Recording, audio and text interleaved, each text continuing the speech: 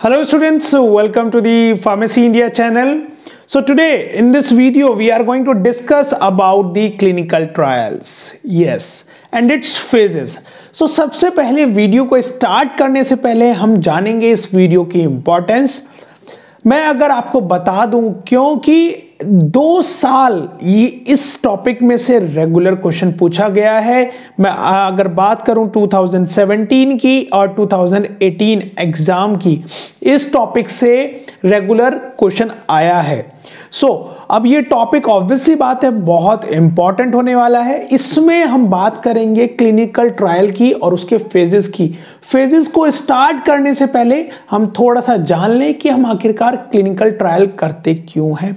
So clinical trial हम जब करते हैं जब कोई ड्रग हमारी मार्केट में आनी होती है हम उसमें वो ड्रग हम अपनी एनिमल्स पे टेस्ट करते हैं इनविट्रो स्टडीज़ करते हैं उसकी सेफ्टी और एफिकेसी को जानने के लिए, जब उसकी सेफ्टी और एफिकेसी हमें पता लग जाती है एंड इट इज़ हमें उससे पता लग जाता है कि ये ड्रग सही है, तब एक आईएनडीए फ़ाइल होता है किसमें? यूएसएफडीए में। What is INDA that is investigational new drug file होता है यूएसएफडीए में जो कि मेन अथॉरिटी है। सो so, ये मेन अथॉरिटी क्या करती है? ये मेन अथॉरिटी परमिशन ग्रांट करती है कि अब ये ड्रग सही है आप इसको ह्यूमंस पर ट्रायल कर सकते हैं। और उसी को बोलते हैं हम क्लिनिकल ट्रायल जी हाँ सो हमने प्रोसेस जान लिया कि क्लिनिकल ट्रायल आखिरकार होता क्यों है और करते क्यों है।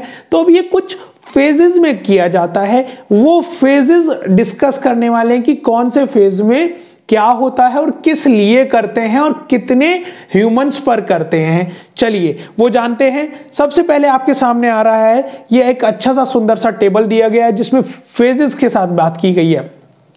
चलिए फ़र्स्ट फ़ेज़ की बात करें। क्वेश्चन कहाँ से उठता है? यहाँ से उठता है।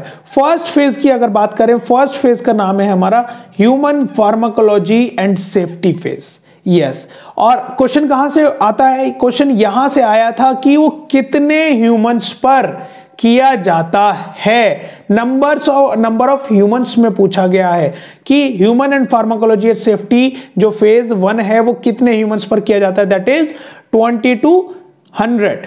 Yes और क्या पर्पज है?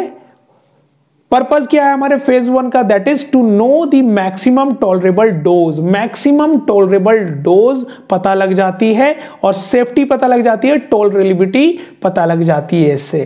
ठीक है? सेकंड फ़ेज़ कौन सा है? सेकंड फ़ेज़ है थेरोपेटिक एक्सप्लोरेटरी क्वेश्चन कैसे आ सकता है कि which phase is known as therapeutic exploratory पूछा जाएगा phase one phase two phase three phase four so इस तरीके से भी क्वेश्चन आ सकता है तो हमें लगाना है phase two now the 100 to 150 जो होंगे पेशेंट्स उन पे होगा होमोजीनियस पॉपुलेशन होगी, और इसका पर्पस जो होगा to establish therapeutic efficacy and dose ranging and ceiling effect check करने के लिए होगा. ये इसका पर्पस दिया गया है. बहुत आसानी से पढ़ लिए हैं।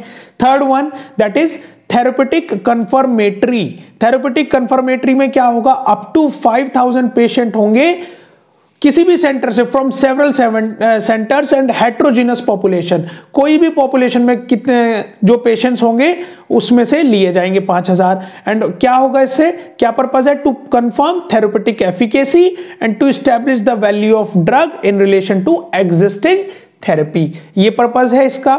नाउ फोर्थ वन क्या है? पोस्ट मार्केटिंग सर्वेलाइंस ये पूछा जा सकता है। बहुत कॉमन क्वेश्चन है कि कौन से फ़ेज़ में हम पोस्ट मार्केटिंग सर्वेलांस करते हैं।